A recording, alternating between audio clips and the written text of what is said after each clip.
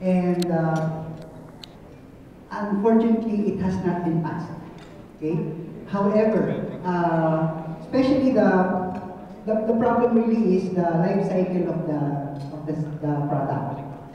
The more the more important uh, factor is the life cycle. How long does it become waste? As far as air conditioning is concerned, if uh, our air conditioners are supposed to last our lifetime in the Philippines, that is a very luxurious uh, commodity for us, right? It is very expensive. Uh, however, uh, with the current uh, spending power of the Filipino, it's only now that air conditioning is penetrating the households. Correct. And uh, most of the waste issues, disposal issues are on our cell phones because we change cell phones every years. Okay, air conditioners, maybe not so much because uh, 15 years, uh, uh, you cannot, uh, you don't like to park with your aircon for 15 years.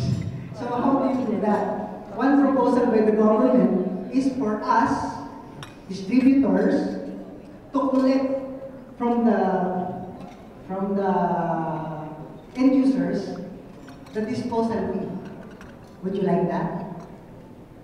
No, right? That's why there's a big problem there in the waste electronic electrical equipment.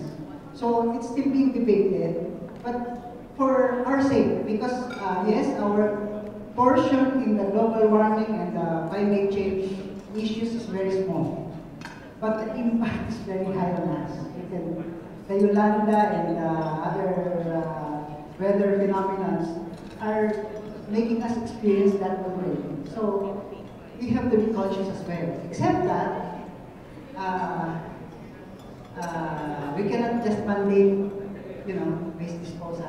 You know.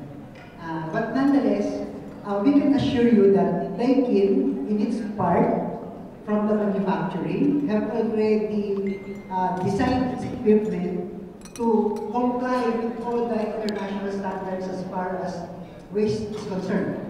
You can recycle the plastics, you're not using any hazardous substances in your production, and uh, you're complying with all the safety requirements. I believe that is our uh, contribution now as far as waste disposal is concerned. Thank you very much. Thank you very much. Thank you. Very insightful.